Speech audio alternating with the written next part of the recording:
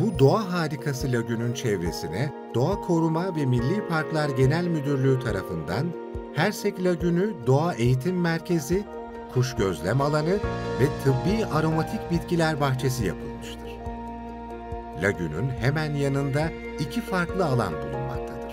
Birincisi kuzey tarafta bulunan Doğa Eğitim Merkezi ve kuş gözlem alanında Türkiye'de ilk defa tekerlekli sandalye kullanan engelli vatandaşlarımızın da rahatlıkla kuş gözlemi yapabileceği engelsiz kuş gözlem kulesi bulunmaktadır. 6 katlı çelik konstrüksiyon olarak inşa edilen ve 22 metre yüksekliği bulunan kulenin en önemli özelliği, alana gelen tekerlekli sandalye ile engelli bireylerin her katına rahatlıkla ulaşabilmelerini sağlayacak asansör sisteminin bulunmasıdır.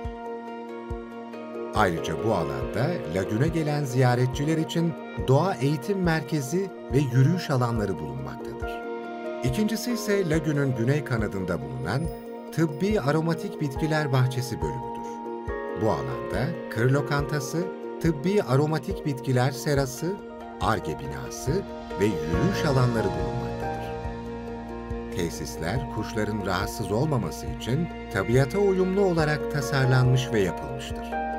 Bunun yanı sıra hem doğa eğitim merkezi ve kuş gözlem alanı hem de tıbbi aromatik bitkiler bahçesinde engelli vatandaşlarımız da unutulmamış yürüyüş parkurları ve yapılan tesisler alana gelecek engelli bireyler için gerekli düzenlemeler hayata geçirilmiştir. Her şeyiyle ben hazırım diyen Doğa Eğitim Merkezi misafirlerini beklemektedir. Şimdiden kuş gözlemcileri ve doğa meraklılarının uğrak alanlarından birisi haline gelmiştir.